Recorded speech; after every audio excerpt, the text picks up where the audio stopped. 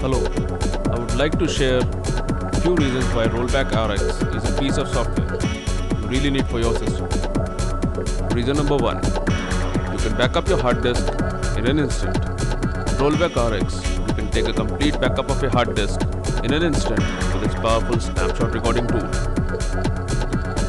Just give a name to the snapshot, fill in a brief description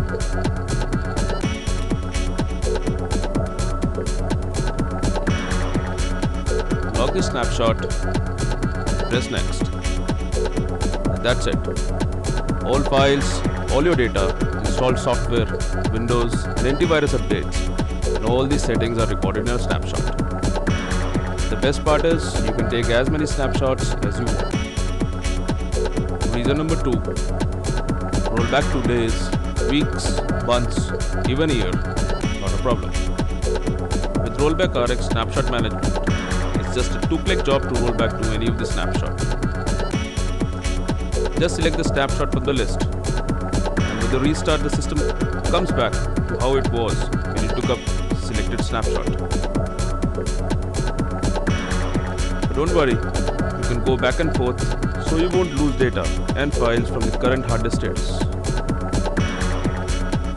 Reason number three crashed operating system or blue screen of death. No problems. Rollback RX is situated between the BIOS and the boot sequence of the Windows. Thus, even if the Windows doesn't boot up, your system will recover to any of the snapshots that you want.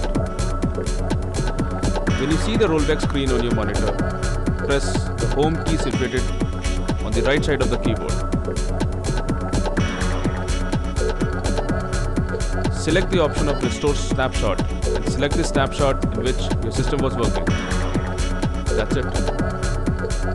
Reason number 5. No need to manually take snapshots. Just automate it. With Rollback RX, you don't need to remember taking snapshots. Just set a scheduled task and rest will be taken care of automatically.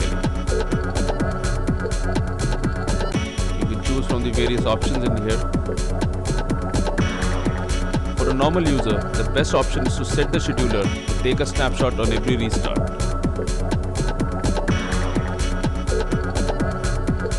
Reason number 5. You can automatically restore system to a previous snapshot.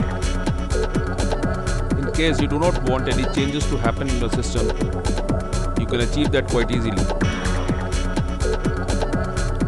Select a scheduler to restore system. Select the time or a event on which the system should restore back. For example, here we're setting that on every restart, the system should roll back to the snapshot called 5 April.